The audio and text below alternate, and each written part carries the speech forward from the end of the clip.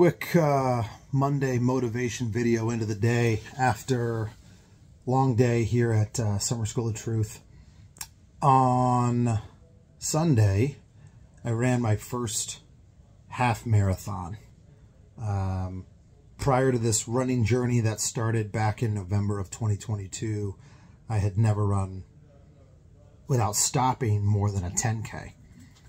And uh, Had a couple of brothers out there with me, was extremely excited to finish.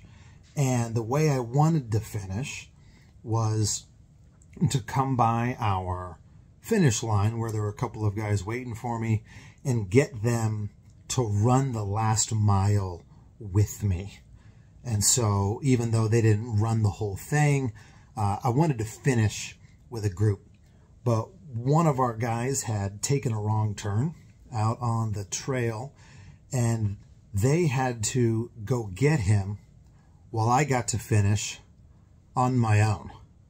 So I, I wanted to finish, lift it up with this community, with these guys uh, in an exciting way and ended up running the last the last one mile on my own to get to the 13.1. And when I finished, it was just a random spot on the trail. There was no finish line. There was no crowd. There was no music playing. There was no one to greet me. And uh, I, I just realized that when we're striving for a goal, when we're doing something, sometimes it's okay to do it for some glory. It, it's just going to be part of the journey.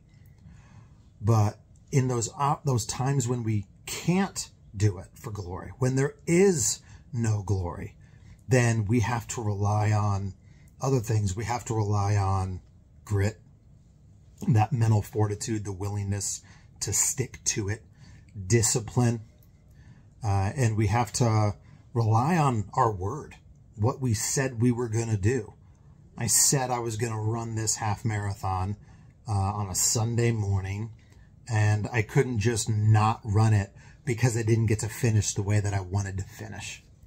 So just a just a, a note that when we're when we're pursuing something, especially a big something, something we've never done before, uh, we got to be flexible and uh, and sometimes call an audible and just dig a little bit deeper to get across the finish line uh, because there's not always going to be the fanfare there's not always going to be even somebody to greet you.